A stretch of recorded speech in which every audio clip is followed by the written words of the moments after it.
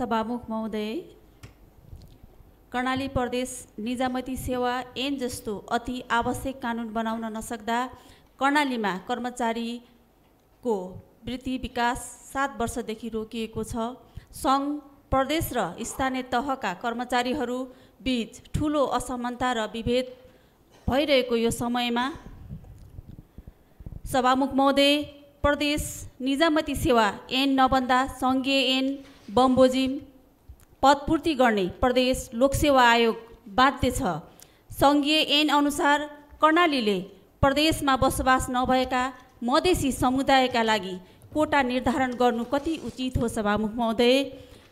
यसरी मधेसी समुदायका लागि कोटा निर्धारण गर्दा कर्णालीवासी आफ्नो सेवा प्रदेशको सेवा गर्ने अवसरबाट वञ्चित हुनु परेको अवस्था छ।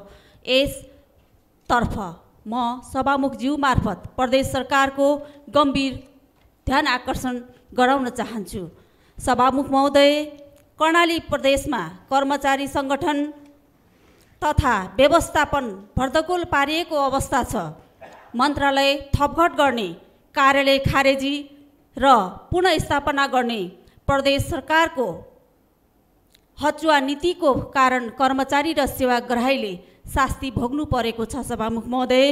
कर्मचारीको मनोबल गिर्न पुगेको छ। सरकार र मन्त्री फेरबदल भएसँगै मन्त्रालय थपघट गर्ने काम बन्द गरियोस् सभामुख महोदय।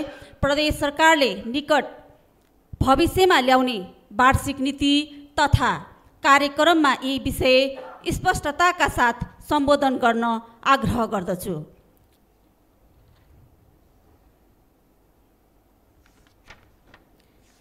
सभामुख महोदय प्रदेश सरकार गठन भएको पाँच वर्षभन्दा बढी बितिसक्दा समेत सार्वजनिक सेवा प्रवाहको मूल माध्यम कर्मचारी व्यवस्थापन गर्नतर्फ कुनै चासो नदिनु प्रदेश सरकारको निकम्बापन बाहेक अरू केही होइन।